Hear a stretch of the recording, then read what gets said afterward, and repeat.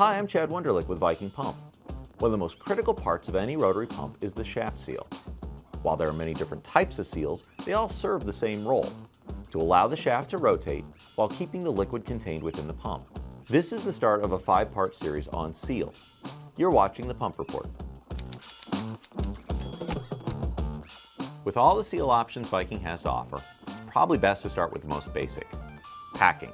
Packing usually consists of braided or formed rings that are compressed in the stuffing box of the pump. As the packing is tightened, it squeezes up against the shaft and the stuffing box wall to create the seal. Packing is one of the oldest forms of shaft sealing and used to consist of leather, rope, or flax rings compressed around the shaft to limit leakage. Today, packing is offered in a wide variety of inert materials, such as expanded PTFE or compressed graphite. Viking Pump commonly offers three types of packing for our pump. Standard, sanitary, and high temperature. Packing is economical and with no upper viscosity limit, it works well for thick liquids, which may be difficult to seal with other technologies. It also rarely catastrophically fails. If the rate of leakage increases, slight tightening usually fixes the problem. Packing does have some drawbacks, but the biggest one is that packing must be lubricated, either externally or by the pumped liquid.